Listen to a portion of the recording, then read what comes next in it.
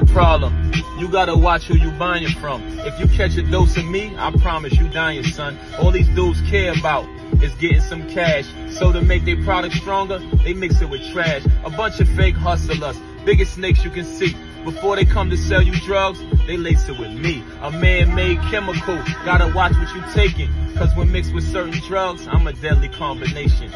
I am a hundred times stronger than morphine. Before they caught that lawsuit, you could find me in Walgreens. I'd rather see Prince singing in the purple rain. But instead, I seen an icon hurting pain. Unfortunately, he thought he was buying painkillers, but he didn't know they laced them with me, the grave digger. Miller thought he was buying some Percocets, but they laced them with me, which led to a certain death. Years later, the cops caught the punk cowards who sold it, cause they got arrested for selling counterfeit oxycodone. Great actor. He was honest about his addiction.